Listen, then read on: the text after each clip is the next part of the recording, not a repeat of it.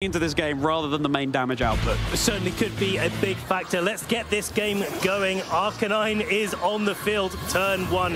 Paired up with the Whimsicott is Chien-Pao and Gouging Fire there for Patrick. Tailwind Rock Slide is looking so good right now for It's never looked better. it really, really hasn't. I mean, you can Terastallize away from that on one of these two Pokemon, or you might have something in the back to be able to take it better, something like a Kingambit, for example. That's the only Pokemon on Team that would be taking resisted damage. But then, you know, in return, Chien-Pao threatening Ice-type, super effective move onto the Whimsicott there. But uh, yeah, certainly Yvar looking to be in the driver's seat right in turn one.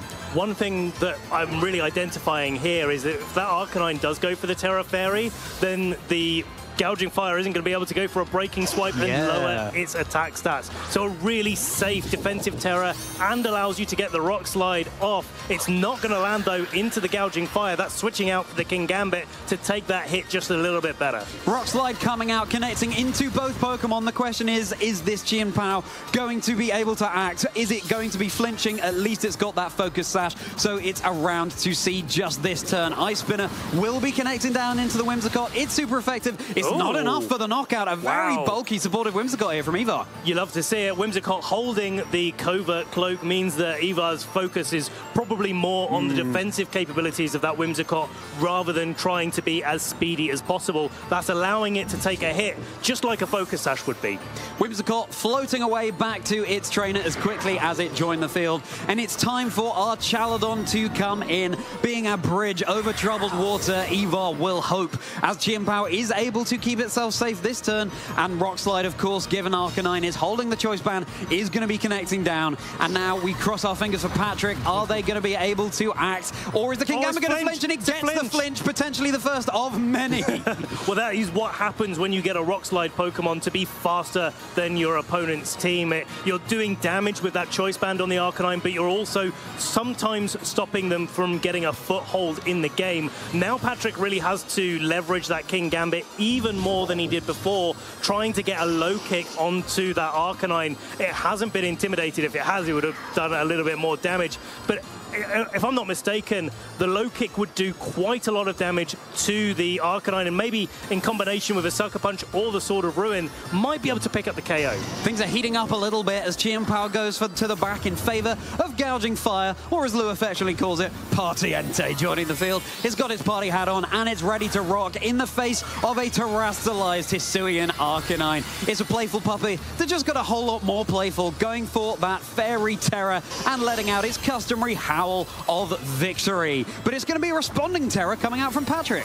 Uh, It's probably going to be, well, in fact, it has to be the Tera on the Kingambit. Tera Dragon uh, actually losing the resistance that it had to it to Arcanine's rock-type moves here in favor of maybe supporting itself a slightly different way. Rock Slide coming into both of these Pokemon, not enough to get any KOs right now, but clever Terrestrialization on the Kingambit, avoiding taking damage from the low kick. But wow, it's avoiding taking damage on all fronts here as that low kick does absolutely nothing to the Arcanine. Clever terrestrialization on the Kingambit, but an equally clever terrestrialization onto the Arcanine there. That really felt to me like Patrick's make or break moment in this game. But the low kick just doing negligible damage as a result. And these rock slide, um, the rock slide damage is really just racking up over on Patrick's side of the field. It really will all come down to what Patrick's final Pokemon is. But whatever it is, it's not going to love taking a rock slide as Archaludon goes to the back. on the last turn of Tailwind as well. Whimsicott coming back in, ready to set it up again. Gouging fire for the Burning Bulwark, making sure that it's not getting knocked out this turn. But that Assault Vest carrying Kingambit isn't able to protect itself whatsoever. Patrick favoring the Pokemon in the back and not wanting them to take any more damage from the Rock Slide on this so powerful Arcanine. It's been here the whole game through. It has been, but that rock slide does finally get a miss, so that's a little bit of an opening there for Patrick, potentially heading into this next game. Love how Yvar cycled in. This Whimsicott now is ready to provide another tail Tailwind if needs be, having pulled up the drawbridge of that Archaludon that will be lurking in the back along with Yvar's as of yet unrevealed fourth Pokemon. And uh, frankly, there's not much right now that can be stopping this Hisuian Arcanine, and it's looking like it's on really good health as well. A Tailwind coming up from this Whimsicott, making sure that Arcanine is still the strongest Pokemon on the field. Now double connecting with the Rock Slide, it's a double KO. That Chien-Pao in the back is not looking like it's in a particularly good position. It will be down to a combination of that Chien-Pao and the currently unrevealed fourth Pokemon to Patrick to see if he has a way to come back in this match. Kingambit on its knees in the face of that rock slide. It's finally down and out, and it looks like it is the Flutter Mane in the back for Patrick. That's certainly a heavy hitter, and it's holding the Choice Specs as well. So with those on, it's going to be able to identify its target's weaknesses aptly and get a real big boost to its special attack, as, one as, as well as the 1 HP Chien-Pao, which, you know, it will be reducing the defense of everything around it. That could work out actually against Patrick as well. Um, but still, Yvar has the Pokemon advantage with four Pokemon remaining. The question is, is, is there going to be any damage gotten off this turn by Patrick, or is a Rock Slide going to come out and stop that? The light screen stopping the Sucker Punch from the Chien-Pao. Rock Slide going off, knocking out the Chien-Pao. The Sword of Ruin active on that Flutter Mane, but not enough to pick up the KO there. Does it get through? It does not. Flutter Mane is going to be flinching, and that is just salt in the wound for Patrick here, just dotting the I's and crossing the T's as Yvar quite comfortably takes this game one. Whimsicott for style points, wants to get in on the offensive action as well, goes for the Moonblast and delivers the finishing blow there. So Yvar really convincing for, uh, well, 4 and 0 in terms of Pokemon at least, victory against his opponent Patrick. And I think heading into game two, Patrick needs an answer to Rock Slide. Yeah, normally when we say where there's a Rock Slide, there's away, we mean, hey, maybe it can get a flinch, yeah. a, a, clutch uh, clutch turn here or there, or make sure that your your partner Pokemon can do something that otherwise it wouldn't be able to. In this case, uh, it's like, how do you just stop taking damage from Rock Slide? Yeah, yeah, yeah. And that's what Patrick really needs to go back on the drawing board for. I think the difficulty that he has is the lack of speed control. Yeah, that's certainly an issue in the face of a Whimsicott that can so easily click Tailwind. And on top of that, no Pokemon that can click Fake Out into the Whimsicott. It's not even got the Ghost Tera of the Whimsicott. It's Tera Water, so Fake Out could be really safe into that slot. Um, it's it's going to be tr tricky for Patrick. Of course, the Kingambit has Sucker Punch. You could see in that previous game why Patrick went for the Dragon Tera to take less damage from the Body Press, but it then did take more damage from the Rock Slide, and the fact that it then went for a low kick in the face of a Fairy Tera Hisuian Arcanine, that's just not going to cut the mustard as mighty as that kowtow is on his head. So Patrick, really, I think certainly Yvar played that incredibly well, but also Patrick perhaps needs to consider a Tera at some other point in the game. Mm. That's that's one of the things it, it came down it's to. It's tough. Right?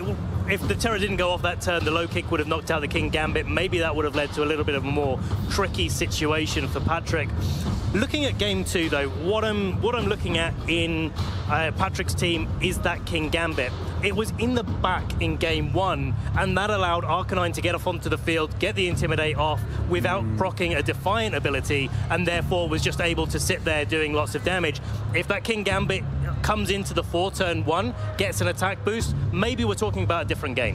It's a really good point, and it's also running Iron Head, so it can be hitting the Hisuian Arcanine super effective if it does go for the Fairy Tera, but it's not going to be the Kingambit being oh, led in like this, this game. It's going to be Gouging Fire, Ogerpon Wellspring, Hisuian Arcanine, and Whimsicott once more. Ben, why do you like this? I love this because of the ability for Gouging Fire to go for a Howl get the attack boost onto Gouging Fire and Ogerpon and offset the Intimidate. But Ogerpon, most notably, is threatening the early Tera onto the Arcanine, and that gives Patrick a lot of room to maneuver uh, in the way that he approaches knocking out that Arcanine. When the Kingambit potentially comes in. It could come in on the switch in from the Ogerpon and get a howl off on its own, and then maybe go for an Iron Head once you know what the Arcanine has terastallized into. Hisuian Arcanine running like the tailwind off the battlefield, and instead it's going to be Archaludon joining the field as Howl does indeed come out from Patrick's Gouging Fire, raising the attack of both of these Pokemon to neutral at least here. Ivy Cudgel free to go off into the Archaludon. It's a Dragon type. It's not going to be taking too much damage at all from that. Unfortunately, no critical hit. Stamina, though, is able to boost up the defense, which could be huge for body press later on. There's Moonblast, gets the special attack drop on Gouging Fire. Doesn't matter so much. It is a physical attacker. The question here is how long will it be before the Arcanine comes back onto the field and at what point does Whimsicott feel like it really needs to go for a Tailwind? Now that Gouging Fire is back to neutral stages of attack, the question is, is whether or not the Heat Crash is enough to knock it out this turn and stop a potential tailwind for later, or whether it's not enough because we've seen how bulky that Whimsicott is, and therefore can the Whimsicott go for another Moonblast whittle down this gouging fire a little bit more. It's a bulky it's a bulky Whimsicott, but it's quite a light Pokemon, and of course Heat Crash comes down to the weight difference between them. So with the Tailwind being set up, Gouging Fire is still going to be moving first. How much is it going to be doing? Yes, Whimsicott is able to survive as Body Press was targeting down that Ogerpon at Wellspring, so well covered there by Patrick and a good heat crash damage there now into Yvar's Whimsicott. Uh, again, we're, we're in this sort of situation where do you want to knock out the Whimsicott this turn? Do you want to cover a potential switch in there for the Whimsicott? Or do you want to spend the time that you've got while Yvar's in Tailwind, boosting up your Gouging Fire and your Ogerpon, ready for when that Tailwind expires, and then you can hit back a little bit later. Well, that doesn't seem to be the option Patrick's going for right now as Flutter Mane, the sociable, joins the field. It wants to be part of the party, and here it is gleaming away as Encore attempts to come out into the Ogerpon on Patrick's side, locking it into the spiky shield, but Howl will be coming out from Patrick's Gouging Fire. That's going to be boosting the attack stat of, crucially, the Gouging Fire itself. But Flash Cannon coming out from the Archaludon, Yvar calling a switch up. That's super effective into the Flutter Mane. Fluttermane known more for its special bulk, and so is able to take that really, really well. What a great read there coming out from Yvar, just making sure that regardless of what was going on, the Archaludon's feeling pretty safe in this position. So why not just go for the Flash Cannon? If you don't get it quite right, that's okay. Ogerpon and Gouging Fire really struggle to do damage to Archaludon, especially when it's at one stage of increased defense. So really like that play from Yvar, and certainly one that's going to make a big difference to this mid-game, uh, where the Flutter Mane's not going to get as many opportunities to go for an attack. It's now in range of another Flash Cannon. It's now in range potentially of a Moonblast from that Whimsicott, depending on how that Whimsicott is trained. But has Yvar called this switch as Flutter Mane returned once more in favor of Ogerpon? It loves being the center of attention, what with that follow me move, and it's back on the field, but this time Whimsicott is able to encore the gouging fire. So that is going to be locked into going for Howl. So now Yvar's going to want to be taking care of the physical attackers on Patrick's side before they uh, lose that encore in order, well, at least the Ogerpon is going to be uh, free from the encore because that was targeting down into the gouging fire. Flash cannon just to cover if the Flutter Mane stayed in, going into the Ogerpon for a nice little bit of chip damage. There's definitely worse things to be encored into yeah. in this position and a really clever switch there from Patrick, making sure that thinking like, hey, I'm probably going to be encored here. Burning Bulwark doesn't block the encore, so would have been a, definitely a really disadvantageous position to be going for that move in front of a Pokemon with Encore. Might as well switch the Ogerpon in, get another attack boost, and put it into a prime position to be able to knock out that Whimsicott. Most notably, there's a stamina boost onto that Archaludon. If this Ogerpon can crit through that defense boost, it's going to be doing a lot of damage. Well, now it's snowing on the field, so Ninetales is going to have an immediate defense boost as a result of that being an ice type. But yes, the critical hit chance that would be able to hit right through uh, uh, any other defense boosting capabilities. Body press already doing a lot of damage to the Ogerpon with the stamina boost it receives. Ninetales able to hang around with just a sliver of HP. It's holding the life orb, remember, so if it were to go for a move now, it would be going oh. down as a result of the recoil. But this is a tricky turn because you want to be able to spiky shield away from uh, the freeze dry that Ninetales has its opportunity to go for. But if Yvar had switched in the Whimsicott there, it would have been able to encore the Ogerpon into the spiky shield and put a lot of pressure back. That's not what happened instead. Just a spiky shield and another how this Ogerpon is really looking like a prominent threat. Blizzard, the follow-up from Ninetales doing actually really quite respectable damage, but knocking itself out to its own Life Orb recoil. Now the Whimsicott's getting in for free. Now the Whimsicott is getting in for free, and that's the end of the encore there on the Gouging Fire, but with Whimsicott just lurking in the back, ready to come and provide another round of applause. That could be a very, could spell disaster for this Gouging Fire. That's and yeah, so cool. fantastic damage from the Blizzard coming out from the Alola Ninetales there as well. Yes, it went down immediately, but it may well have provided all it needed to on the field in the face of this Gouging Fire. But now the Whimsicott has the opportunity to go for the Encore into the Ogerpon Spiky Shield. You could follow me with your Patrick to be able to deal with that, or go for a, a little bit more of a defensive switch, reveal your last Pokemon there and see if that, that's enough to be able to uh, yeah, get, get a little bit of traction going here. The Whimsicott equally, though, could just go for the Tailwind, expecting Patrick to go for a little bit more of a defensive play and really capitalizing on it with that Archaludon. Well, the result of having so many boosts to your physical attack is that you have a little bit of a target on your back.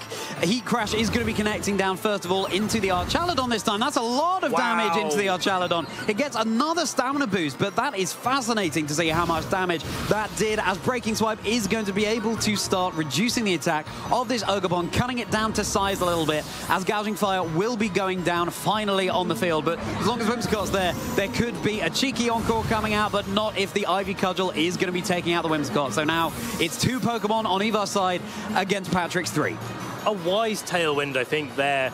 The Whimsicott certainly also had a target on its back, being the Pokemon that can use Encore effectively. Yeah. You definitely want to remove those opportunities for disruption in your opponent's team to be able to give you the freedom to play the game that you actually want to play. But here it is back on the field, Arcanine with that choice band in the tailwind. It was a menace in game one. Game two, it's not done quite as much work, but it's looking in prime position to just rock slide away for the rest of the match here. Yeah, it really is. And Chien Pao, I really like that Patrick's kept this in the back. And I tell you another thing that both these trainers kept in the back, and that is the terrestrialization. That could completely turn the tides of this battle as Ogerpon is now just at plus one of its attack thanks to the Intimidate coming on, coming in from the Hisuian Arcanine as well. Chien Pao going for that Tera Stellar is able to get a one-time boost to any of the moves it so chooses to go for. And for Yvar, is looking like the Tera option is going to have to be the Arcanine. Yeah, looks. I think that's probably likely, Charlie. I mean, you don't want to be terrestrializing your Pokemon on just a few hit points here. You definitely want to make sure that the Arcanine is keeping itself as safe as possible. But it's a Tera Stellar first from the Chien-Pao. Uh, what a sparkly cap there, increasing the damage of all of its moves just one time over. One time, we'll have to see if one time is enough, as Ogerpon will be keeping itself safe and will be dealing a little bit of recoil damage to anything that makes contact with it. Sucker Punch is able to connect down into the Archaludon. That's Nice. going to be easily enough for the knockout. That is the Sucker Punch boost burnt on that Chien Pao, but it still has access to boosted fighting and indeed ice-type moves, as Ogerpon will be keeping itself safe from the Arcanine. The Rock Slide is not going to be enough for the knockout on the Chien Pao, and crucially, Chien Pao acting first, so it doesn't have to worry about any The uh, it's really difficult, right? Because you want to be able to, uh, in Patrick's position, get through the remaining two turns of Tailwind on Yvar's side to be able to attack with that Chien-Pao in the end game. You kind of preserve your Tera Stellar boosted Sacred Sword for the last turn once your Chien-Pao is in a position to be able to go uh, before it. So you have the Flutter Mane in the back. Patrick has the opportunity to switch that in and be able to preserve the Chien-Pao. Then you can go for a Protect on the next turn. Then the Tailwind should be over. You can go for that Sacred Sword. The question is, is it going to be enough to knock out the Arcanine? And will the Arcanine be able to hit with Rock Slides in the meantime? Hit with Rock Slides, and also is the Arcanine going to Terastallize at any point? That's another mind game that's going on here. Unfortunately, the Rock Slide able to take out Flutter Mane and the Ogerpon before it was able to act and get off that Ivy Cudgel that would have been so detrimental to Yvar's Arcanine. So now it's cat versus dog on the field. We're going to decide once and for all which one is going to be taking the crown here. And of course, in that previous turn with the Snow active, the Chien Powers, they will say that Rock Slide a little bit better because it had that boost to its defenses. It has that Focus Sash on anyway, but now the mind games are real. Do you go for the boosted Ice-type move thanks to the Tera Stellar in case the Arcanine goes for the Fairy Tera, or do you go for the Sacred Sword hoping that it doesn't? I, I think you go for the Ice Spinner. I think Yeah, that- that's uh, what yeah. I'd be locking in here because the Sacred Sword would probably be enough to get the KO if Arcanine does go for the Terrestrialization.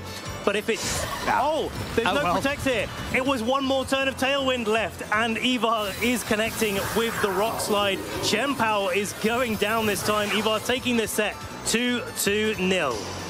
Congratulations to Yvar Vlieger.